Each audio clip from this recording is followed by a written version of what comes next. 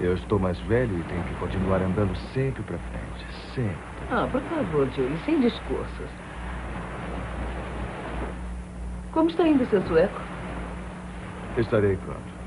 Ela chega de Estocolmo na quinta-feira. Aparentemente tem certas fantasias sexuais. Vai voltar comigo? Uhum. Foi você, não foi? O quê? O assassinato.